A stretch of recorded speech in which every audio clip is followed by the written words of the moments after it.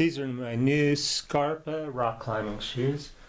I like them because they're about pretty much the only shoes left that you can get that aren't too tight and crazy in the toes. You can wear these all day. Some silk lining socks underneath it, thin socks. Most rock climbing shoes on the market. If you order size 12, it's going to fit like size 11. These are more true to size.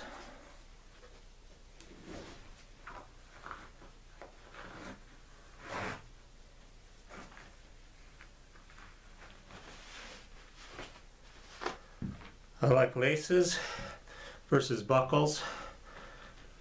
Little trick is, put them on, wear them around the house for a day or two before you go climbing. It'll help stretch them out a little bit. Scarpas.